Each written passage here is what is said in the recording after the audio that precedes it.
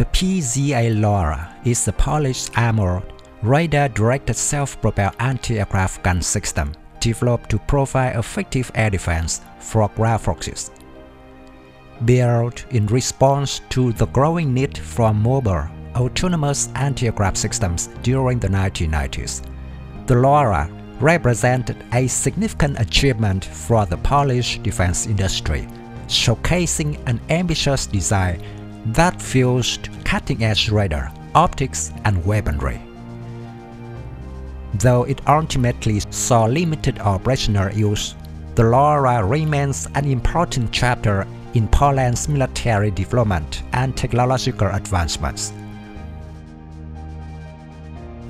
The PZA Loara was designed as a versatile short-range air defense vehicle, able to engage various aerial threats from low-flying planes to drones and helicopters. The original Loara prototype was built on the T-72M main battle tank chassis, which was then modified to the PT-91 Twardy chassis, a Polish variant of the T-72 intended for a production model, the Loara A. This adaptation provided the platform with robust mobility, stability, and power.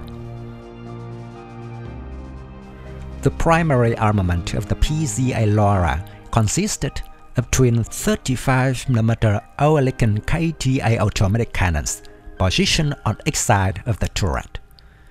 These cannons could deliver rapid, accurate fire enabling the vehicle to engage fast-moving aerial targets.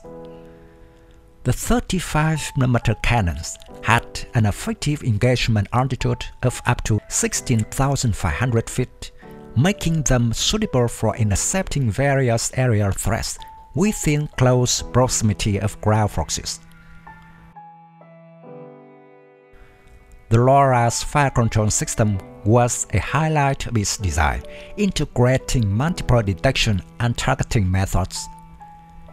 It featured a 3D air search radar coupled with an Ericsson Eagle Mark I engagement radar, a laser range radar, and electro-optical devices, including a TV and FLIR camera. This advanced sensor suite allows the Loara to track up to 64 targets at once, scanning out to a distance of 16 miles and providing a rapid response to threats in all lighting conditions. A diesel-powered S1000 engine generating 1000 horsepower provided the Loara with a maximum on-road speed of 37 miles per hour.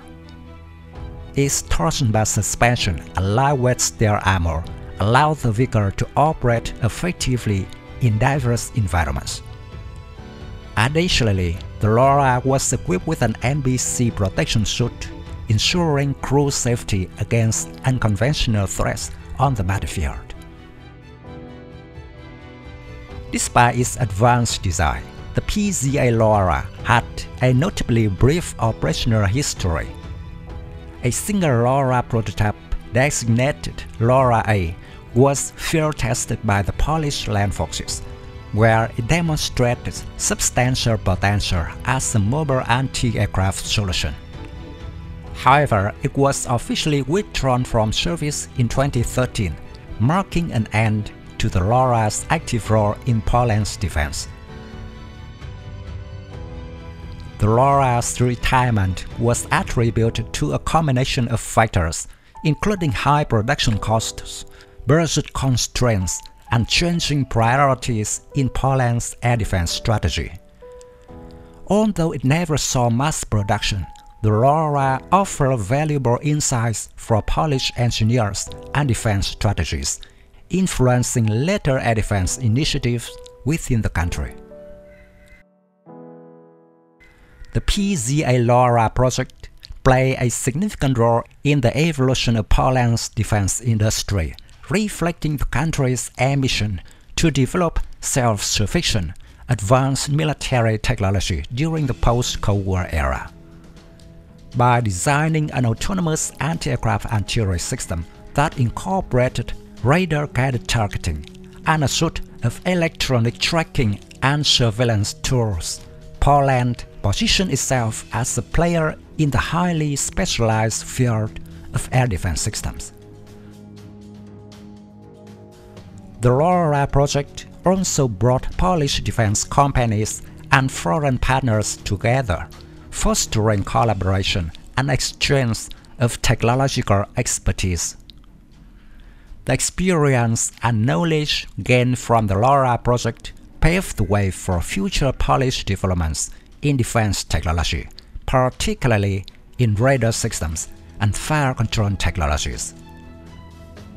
Moreover, the Loara project underscored Poland's commitment to developing indigenous solutions, a vision that has continued with more recent programs such as the Piorun man-portable air defense system and contributions to NATO-compatible systems. While the Loara project did not transition into full production or deployment, it had a lasting legacy in the Polish defense landscape. The program underscored Poland's capability to independently develop complex military technologies and encourage the pursuit of further self-reliance defense initiatives.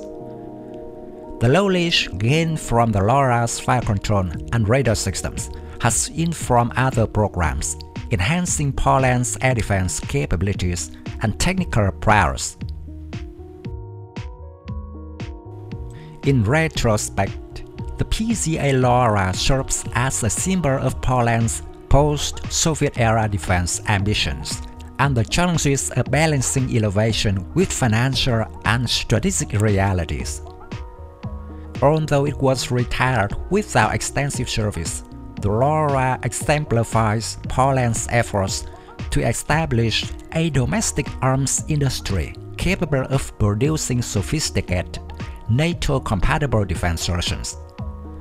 The spirit of innovation and self-reliance embodied by the Loara continues to influence Poland's defense industry, inspiring current and future advancements in military technology.